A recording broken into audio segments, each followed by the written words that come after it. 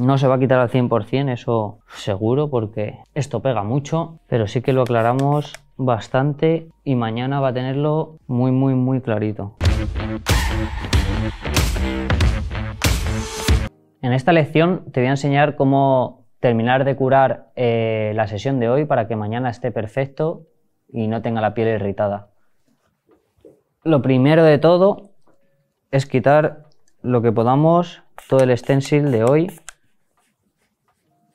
para así mañana no irritar la piel y que esté todo perfecto.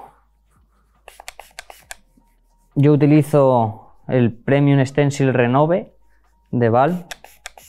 Hay muchos ya que quitan el stencil muy bien. Antiguamente se hacía con alcohol, que te tirabas, ahí sí que se irritaba la piel. Ahora menos mal que tenemos esto y va mucho más rápido. Yo le doy siempre así con la mano, porque si le doy con papel enseguida se seca y no lo quita bien.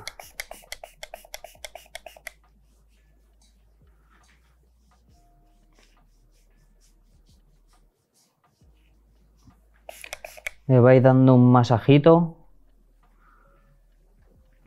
No le vamos a dar con el papel hasta el último momento porque si no se seca, cuesta más quitarlo.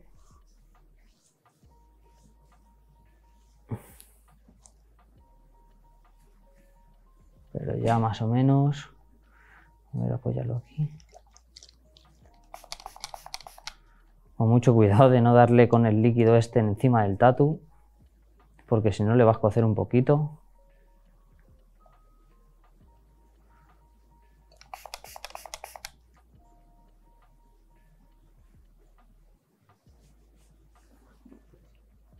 Cogemos un papel.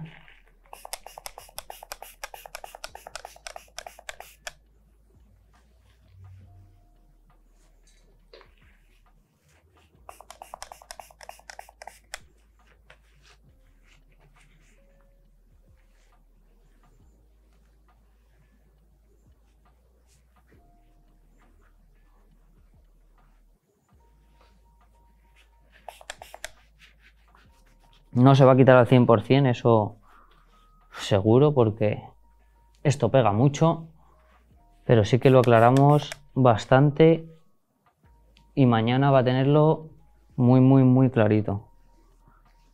Perfecto para limpiar la piel, poner el otro el líquido del stencil y en cuanto se pegue, esto otro ni se verá.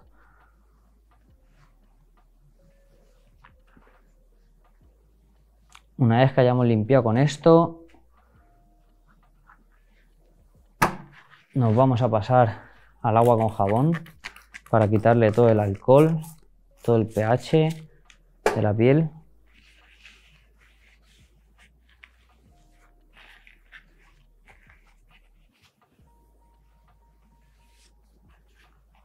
Y así lo tenemos mucho más clarito.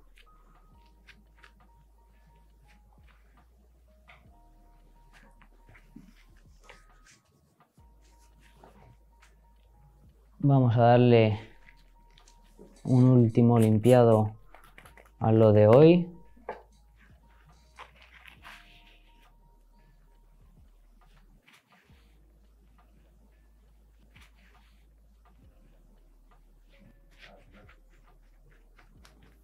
Perfecto.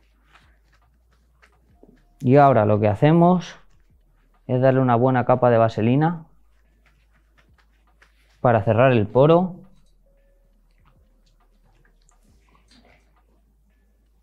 Y en cuanto llegue a casa le decimos que se lo lave y que se eche crema.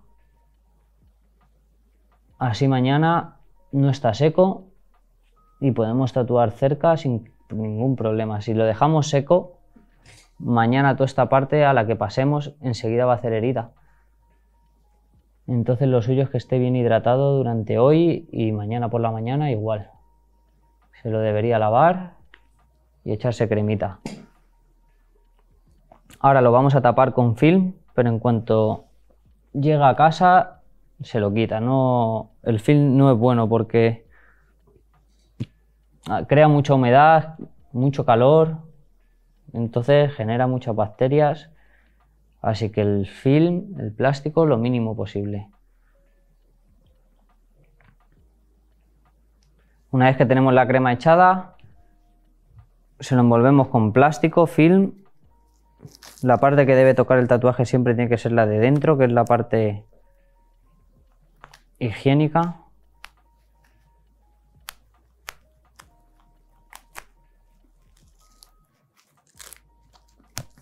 Ponemos uno por arriba y otro aquí abajo envolviendo el brazo para que no se le vaya. Y ahí quedaría perfecto.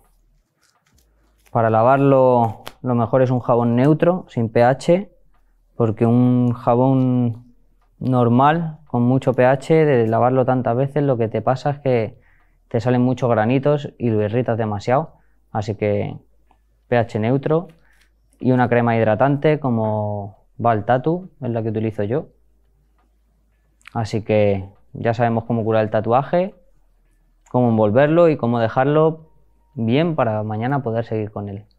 Así que hasta aquí esta lección y pasamos a la siguiente.